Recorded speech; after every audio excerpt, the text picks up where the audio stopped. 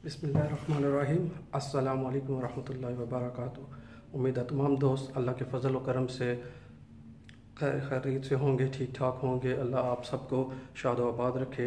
मेरी ये दुआ है कि अल्लाह आप अल्लाह ताला आप सबको हर आने वाली आफात व बलियात व हादसात व मुश्किल से और बीमारियों से महफूज फरमाए।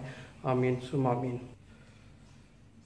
आज काम पे मेरा एक, जो दिन है इसमें एक टर्निंग पॉइंट है। अ, कुछ भी हो सकता है। अ, मीटिंग है अ, दुआ के लिए तो इसलिए नहीं कह रहा कि वैसे तो दुआ करते ही रहे मेरे लिए कि जब तक ये वीडियो अपलोड होगी उस वक्त तक तो उस बात का रिज़ल्ट निकल आएगा। लेकिन आपकी दुआओं की वजह से शायद शायद अल्लाह कुछ बेहतर करे। अल्लाह अपना फजल करम फरमाए हम सब पे और आज का दिन सब के लिए बेहतर हो। आमीन सुम आमीन। तो आज के दिन का आगाज़ करते हैं और इस ब्लॉग का भी आगाज़ करते हैं। तो मेरा कुछ एक्सीडेंट हुआ था कुछ छः महीने पहले। उसकी कोई मीटिंग है इन्वेस्टिगेशन कह लें इसको। तो ख़तरनाक भी ख़तरनाक भी हो सकती है लेकिन कुछ भी नहीं हो सकता। तो देखते हैं कि आज दिन को क्या होता है मीटिंग में। तो फिर मैं इसको आपके साथ भी शेयर करूँगा कि मीटिंग में क्या हुआ अ, क्या कुछ उन्होंने कहा क्या कुछ मैंने कहा। तो चलते हैं, आज के दिन का आगाज़ करते हैं।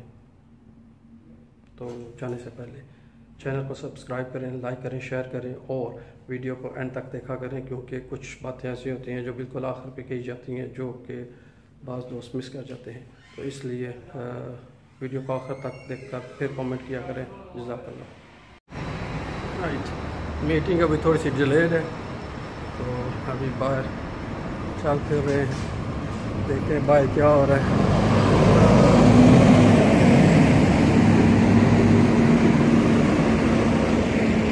घर से जा रही थी पाँच सौ दौड़ने की आवाज़ इतनी होती है कि मैं बोलता भी रहता तो आपको आवाज़ ना आती तो इसलिए थोड़ी सी खामोशी की। तो फ्रेश एयर के लिए थोड़ा बाहर आया हूँ। अभी थोड़ी देर में मीटिंग होगी उनके साथ। तो देखते हैं क्या होता है। तो उसके बाद खाना भी खाना था लेकिन अभी क्योंकि मीटिंग डिले थी, रोटी मैंने पहले ही खा ली है। तो देखते हैं क्या होता है। मिलते हैं other end of the video right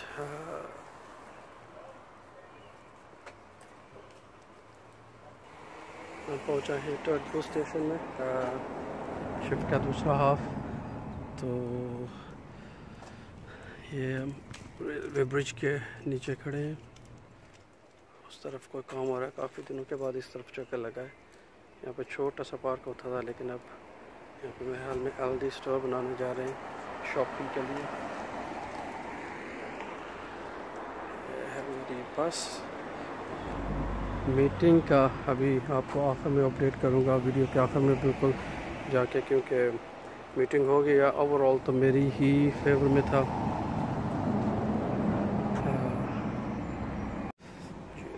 meeting overall तो मेरी ही फेवर में थी। हाँ, लेकिन एक दो पॉइंट थे जिन पे थोड़ी सी पनिशमेंट हुई है सरजनश हुई है। कोई इतनी बड़ी नहीं थी। हाँ, बच बचा हो गया। हाँ, अल्लाह के करम से आपकी दुआओं से। तो ये है कि मीटिंग में ऐसा हुआ कि उन्होंने एक्सीडेंट में तो वो तो प्रूफ हो रहा था कि वो दूसरे की गलती है मेरी गलती नहीं क्योंकि हमारी बस में तकरीबन आ, आठ, नौ कैमरे लगे हुए हैं। एक ये सामने लगा होता है पीछे लगा होता है, उस साइड पे भी, अंदर भी। तो उन्होंने जैसे भी देखा, किस तरह भी देखा तो उनको वो सबूत मिले कि उसमें मेरी गलती नहीं थी।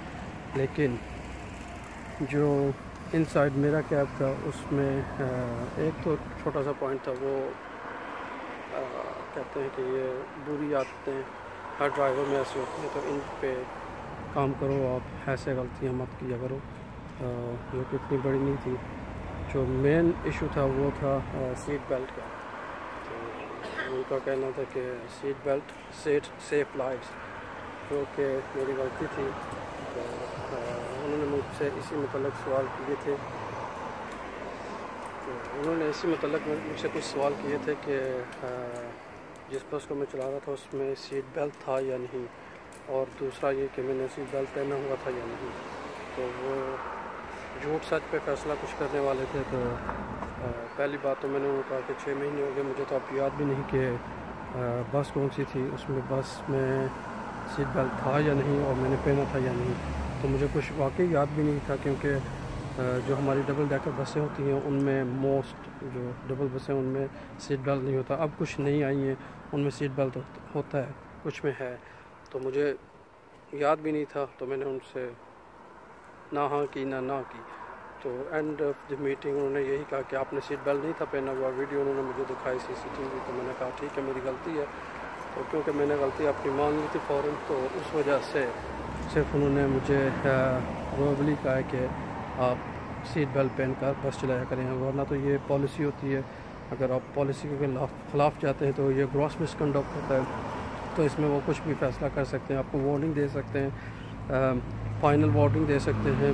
काम से निकाल नहीं सकते क्योंकि मेरे पास ऐसा कोई बैट रिकॉर्ड नहीं था पीछे। मेरा रिकॉर्ड अच्छा था तो इसलिए बचत हो गई। तो ये है कि आज का दिन थोड़ा सा नर्वस भी था स्ट्रेस भी था, परेशान भी था, लेकिन एंड ऑफ़ द डे बेहतर हो गया आपकी दुआओं से। तो आइंदा कोशिश करेंगे कि ऐसी गलती ना हो कि जिससे मुझे वो कुछ कहें। तो दुआ करते रहिए कि दुआओं में याद रखिएगा। चैनल को सब्सक्राइब करें, लाइक करें और शेयर करें दूसरों के साथ।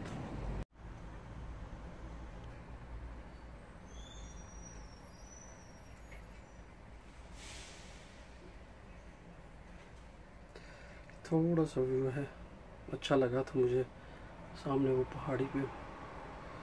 तो मैंने कहा यहाँ से ये भी ले लूँ ये एक छोटा सा गाँव है विलेज है यहाँ का जहाँ पे हम आते हैं। बस स्टेशन से आपको पता चल जाएगा कि यहाँ पे सिर्फ़ तीन चार बसें रुक सकती हैं तीन अंदर और दो उस तरफ़ बाहर की तरफ़। आ, तीन चार अंदर हैं। एक तो मैं खड़ा हूँ तीन आगे तो दो बाहर। पाँच छः छः बसें खड़ी होती हैं। तो इसके ऊपर है रेलवे ब्रिज। यहाँ से ऊपर से रेल रेल जाती है आगे इस तरफ़ हमारे उल्टे हाथ पे ट्रेन स्टेशन भी है। तो ये है हमारा टटकपू स्टेशन अच्छा सा है, छोटा सा, साफ़ सुथरा। सोचा ये भी आपसे शेयर कर लूँ। तो गाइस इसके साथ ही इजाज़त चाहूँगा, घर पहुँच आया हूँ। कल एक नए वीडियो के साथ आपकी खिदमत में हाजिर हूँगा कल छुट्टी भी है तो देखते हैं कल क्या करेंगे। तो दुआ में याद रखिएगा, चैनल को सब्सक्राइब करें, लाइक करें और शेयर करें दूसरों के साथ ज़्यादा से ज़्यादा। और इनक्रेज करें मुझे कि अच्छी से अच्छी वीडियो आपकी खिदमत में लेके आओ। तो कल तक के लिए अल्लाह हाफिज़।